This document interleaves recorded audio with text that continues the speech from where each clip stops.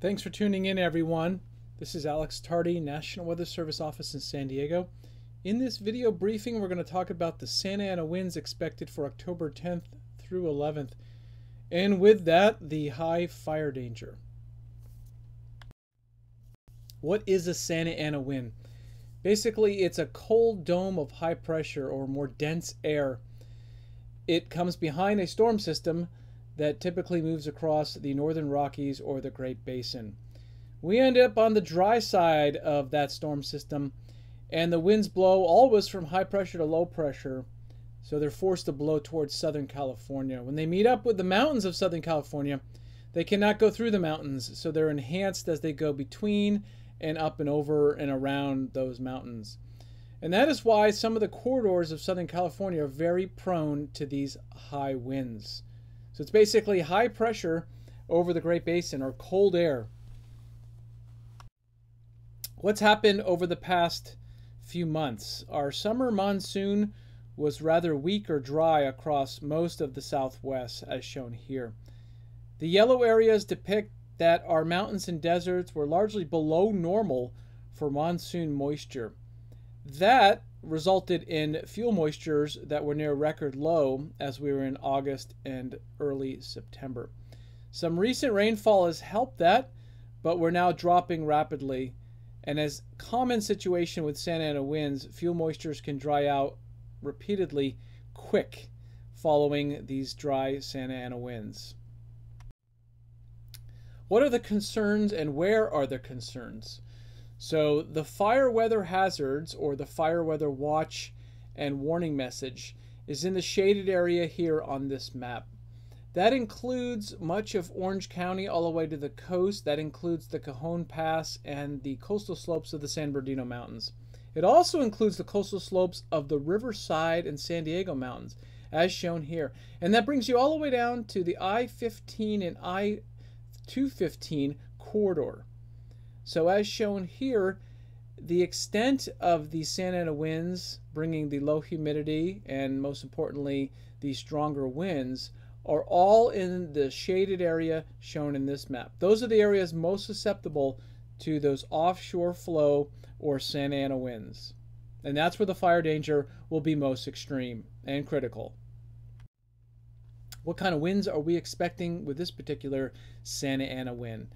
Well, it looks like the most wind prone areas that we talked about, such as the Cajon Pass, all the way down to Ontario, down through Highway 91 into Irvine, those areas will see the winds the strongest, where we could see gusts exceeding 50, even exceeding 60 miles per hour in those bright shaded areas.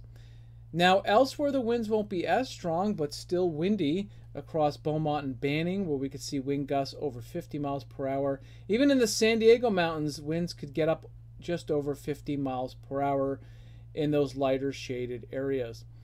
Do note that there are pockets because of the wind coming from the northeast that will see much lighter winds. And you may live in some of those areas, such as Huntington Beach or the LA area, or perhaps Oceanside but be sure to understand that those winds can be much stronger outside of those areas as shown in this map.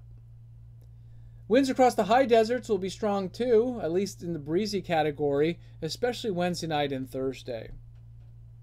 In our lower deserts, winds similar, where we still will see gusts 25 30 miles per hour. Winds are expected to be strongest Wednesday night and Thursday. Humidity. In this event, humidity looks to be critically low and unusually low with single digit values on Thursday. There'll be very little recovery to humidity at night as well. So developing Wednesday night and especially on Thursday, we'll see those humidity values plummeting. And it makes it all the way to near the coast on Thursday. All right, this will be a cool Santa Ana wind initially, so our mountain locations will struggle to get out of the 40s and 50s. And our inland valleys struggle to get out of the low to mid 70s. You'll have to go all the way to the immediate coast before you get close to 80 degree temperatures on Thursday. So, opposite of what you normally see on an average day, and that's what a Santa Ana wind is. What about on Friday? Looks like those winds will continue. Uh, the same critical areas, the Cajon Pass, the Highway 91 corridor. Probably see a pickup in winds across Beaumont Banning and the Highway 60 pass, and also even stronger winds for San Diego County. So those areas will see the stronger winds Thursday night and Friday morning. And that's depicted here where we can see gusts over 60 miles per hour. Also note some of those stronger winds making it all the way down to the inland valleys of I-15 in San Diego County, which includes Poway and Escondido. And also still some critical winds blowing on Friday all the way down to the I-5 corridor, which takes you into Irvine in Orange County. Less winds in our desert areas as those winds slacken off on Friday. Humidity probably will be the lowest on Friday. We should see widespread humidities almost to the coast in the single digit values. Look at 8% Escondido, 7% Alpine. Critical conditions, Anaheim, 8%. Desert like humidity all the way to the coast. And that's what a Santa Ana wind ends up doing. We will not see much recovery even Friday night with the humidity. All right, also want to note that the temperatures, because of this dry air mass and the winds becoming much lighter Friday night and Saturday morning, will be quite cool. These temperatures are probably not even low enough, but temperatures will be widespread 20s and 30s in our mountains, and even our inland valleys dropping into the 40s. Check out places like Oceanside and Lake Elsinore. They could see some of the coldest temperatures for sure of the year, and even unusually cold for the month of October. Here's the summary of the Santa Ana wind event. This is the first significant one, not the first Santa Ana wind, but the first significant event. And this is going to start Wednesday evening and roll right through Friday night. We're going to look at this as being a moderate Santa Ana wind, which means our wind prone areas 50 to 70 miles per hour. Our non wind prone areas even reaching 30 to 40 mile per hour wind gusts on Thursday and on Friday. Humidity values critically low.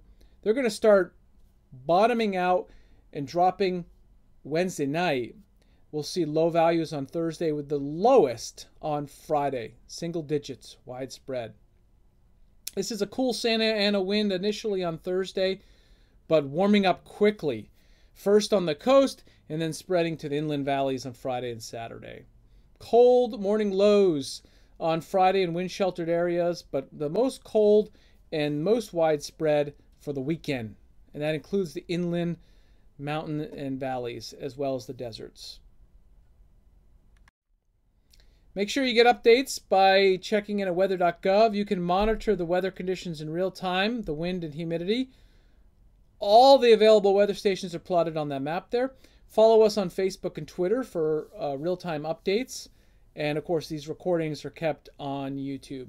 Thanks for tuning in and be safe with these critical fire weather conditions unfolding Wednesday night all the way through Friday night with very dry conditions and uh, widespread Santa Ana winds.